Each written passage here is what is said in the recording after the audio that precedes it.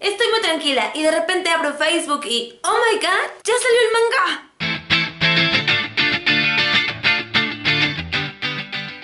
Así es chicos, originalmente se esperaba que saliera hasta el jueves, pero bueno, salió antes, se filtró en coreano y después en inglés, después en español, pero ah, eh, hay que hablar de esto porque, ok, ok, primero que nada, los spoilers eran ciertos, totalmente ciertos. Boruto tiene un tipo Byakugan porque se puede ver que tiene un ojo, o sea, como que no es normal, se ve como blanco, pero no se le ven las venas características del Byakugan alrededor de los ojos. Entonces nos da a pensar que es un tipo Byakugan diferente o a lo mejor es otra cosa porque, ay, plan con maña, o sea, Ikemoto no dibujó esa parte a color, o sea, dibujó las primeras imágenes a color eh, para que veamos la vestimenta de Boruto, qué color era, cómo es Kawaki, que resultó ser el chico que estaba de espaldas, el pelinegro con güerillo ahí, que salió en la portada de promoción, la primera portada de, de, Boruto Nueva Generación. Y pues vemos una Konoha totalmente devastada, el monumento del Hokage está totalmente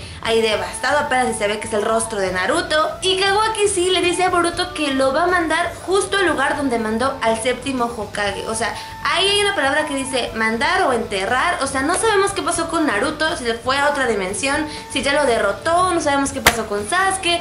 No sabemos siquiera qué pasó con Sarada. Solamente en las primeras páginas aparecen Boruto y Kawaki a punto de luchar, debatiéndose el futuro de la era Shinobi. Vemos que todavía Boruto tiene la bandana de Sasuke, la que le dio en la película de Boruto Naruto The Movie. La saca de su bolsa y se la pone y empiezan a activar unos sellos raros que tienen en sus cuerpos. O sea, Boruto lo activa en azul y Kawaki lo activa en rojo. Se cree que el de Kawaki es el del árbol sagrado, pero no sabemos qué onda con los de Boruto. Todavía no se sabe bien, pero, o sea, yo creo que fue demasiado, demasiado bueno que Ikemoto pusiera esta imagen desde el principio y después regresarse a como que contar la historia de Boruto desde niño para que veamos qué es lo que pasa para llegar a este punto del principio. O sea, creo que fue la mejor manera de atraernos, la mejor manera de picarnos porque no, no sabemos ni siquiera qué está pasando. O sea, al momento de decir, Kawaki decir, ok, Naruto está en un lugar y ahí te voy a mandar. O sea, la mente de nosotros empieza a pensar,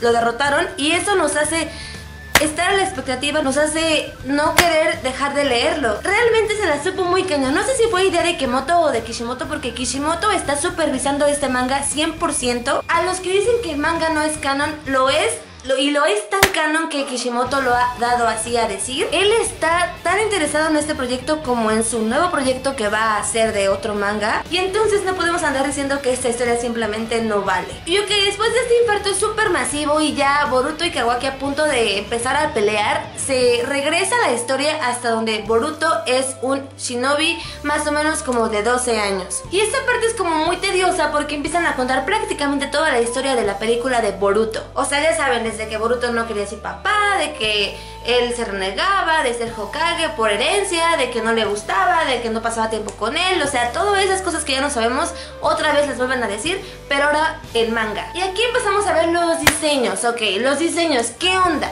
El Sasuke creo que ha mejorado porque la última vez que lo vimos fue como Severus Snape, o sea, Sasuke Snape. No, estaba muy muy chistoso su, su, diseño, la verdad es que no me encantaba. Ahorita creo que lo ha mejorado y a mi parecer, desde mi punto de vista, claro, estamos tan acostumbrados al de Kishimoto, pero creo que este arte no está nada mal. Hay que recordar, yo no creo que Kishimoto no sea capaz de hacer el arte igual que Kishimoto. Simplemente lo va a hacer con su estilo, o sea, tiene que marcar que es otro dibujante, tiene que marcar que es otra persona, que no es Kishimoto.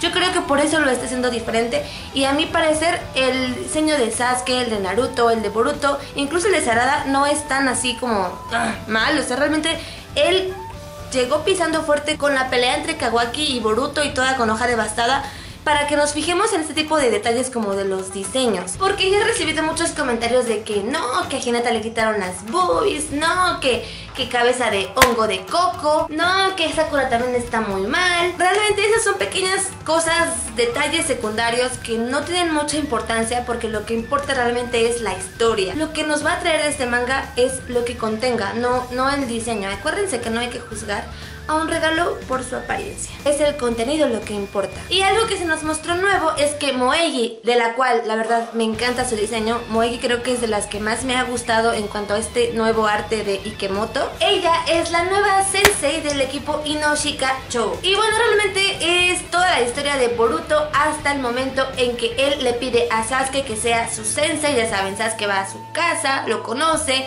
Boruto se enamora de él, o sea, dice que es súper, súper, súper genial. Se vuelve fanboy de Sasuke, ¿por qué no? Y le pide que sea su sensei porque quiere derrotar a alguien muy importante a cualquier costo. Sí, a Naruto.